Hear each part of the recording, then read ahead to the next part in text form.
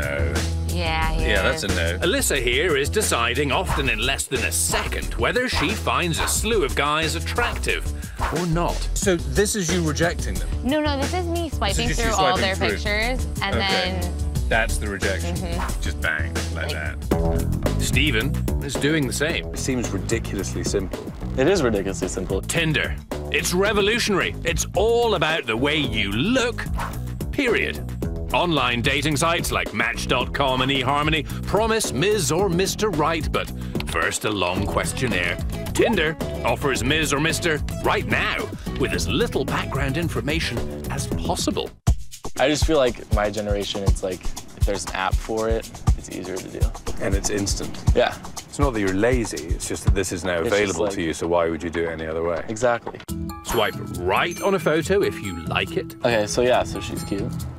So is that a yes? Swipe left if you don't. It's a bad vibe. Yeah, If you both swipe right, You just got a match there. it's a match. You message, maybe meet, maybe more, maybe marriage. You have hooked up with girls through Tinder. Your mum's not watching. yeah, I have. Are we talking once or twice? Are we talking 65 to 70 times? I mean, Let's just say I have. how many matches have you had on this? um 1775. Or That's we a both lot. said we were both attractive. Yeah, it is a lot. All the cool kids are doing it. 1.3 billion swipes every day, according to Tinder's founder and CEO, 28 year old Sean Rad. All this swiping has landed him cover boy status on this month's Forbes magazine. You're just the modern day Hugh Hefner, promoting sex, selling sex, right? No. we are making it incredibly easy for two people to meet. What they decide to do with those relationships is totally up to them.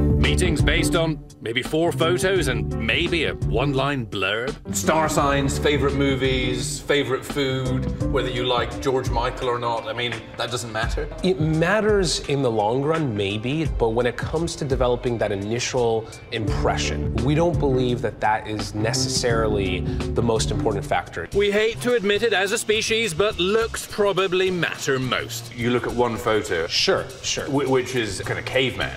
It's efficient. You know, somebody told me the other day that he has been exposed to more women in the last year than probably his ancestors have in a lifetime. Rad boasts he met his own girlfriend on Tinder. He swiped right and he matched heiress Alexa Dell, daughter of billionaire computer magnate Michael Dell.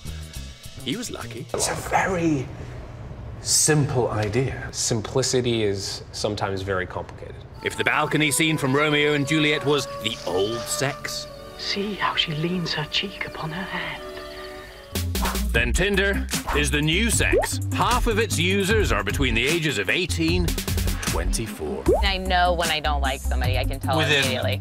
it's just gut in gut Yes, yeah. intuition. Mm-hmm. Alyssa, by the way, made a match, set a date. Well, I don't really know that much about him. We'll get back to that a little later. Tinder has penetrated society so deep that popular video bloggers like Chris Thompson are ranting about it on YouTube. For every shirtless bag on there, there is a duck-faced idiot girl. Me and my grandma. Dude, perfect. I respect women, love my grandma. Have you had sex with somebody you met on Tinder? Yes. you know. And have you had bad dates? Oh, yeah. Because there's one thing that Tinder can't do, and it can't tell you if you have chemistry with somebody.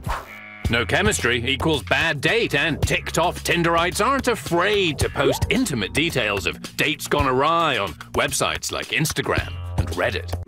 And just this week, this nosy New Yorker couldn't resist live tweeting excruciating details of a Tinder date at the next table. became clear pretty early on that it was a first date. She tweeted, sitting next to the most obnoxious Tinder couple ever. Dude just casually admitted it's his third Tinder date of the day. I was very proud not only of having that on Tinder, but of having been a bit of a master of Tinder. It gets worse. He's swiping through Tinder while she's in the bathroom. And I noticed that he was swiping to the right the whole time. I was amazed at that. I thought it was it was so obnoxious. Our boy Chris is hoping for a better outcome. He's made a match. Um, she's late. If she doesn't show up, like, that's that's okay. Back to Chris in a minute, but first, is the superficial sorting actually the way to go? Physical attraction is critical. It, it really is critical. It doesn't keep a marriage together, but it starts a marriage. Sociologist Jess Carbino lectures at Loyola Marymount, and she moonlights as a paid consultant analyzing Tinder behavior. But are these kids dating differently than, you know, I did 10 years ago, than my parents did? I think that young people are definitely engaging more in a hookup culture than they have been historically. Now, there are, of course, some Tinder do's and don'ts. If you do a mirror picture with a phone, it's an absolute no. Body talk too soon is often off-putting. Oh my goodness. Yeah. That's pretty forward. Uh-huh. That's his first message, too. We can't even tell you what that guy said. Posting pics with cute friends is actually a good idea. There's the effect of when you're posted with another person and they're more attractive than you, they make you look more attractive. Which brings us back to Chris and his Tinder date.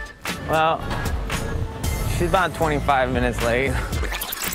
Maybe she's just getting extra pretty for me. The lovely Dana is a show. Hey. How are you? the hardest part when it comes to Tinder is that you don't know if they're going to be how they represented themselves. And she did. She represented herself true. She's awesome. He's got a great personality, super sweet, and I thought we'd have a lot in common. And Alyssa's date, Brian, showed up too. And so did I. Seem to be getting on.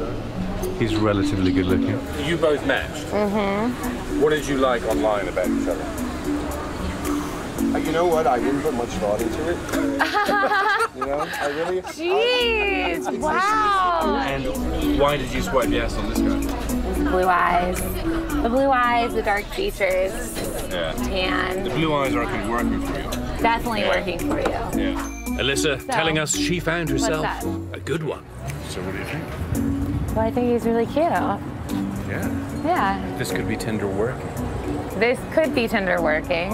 Is our smartphone now in charge of our sex lives? We're certainly yielding a lot of control to our smartphones, so sure, absolutely. Yeah.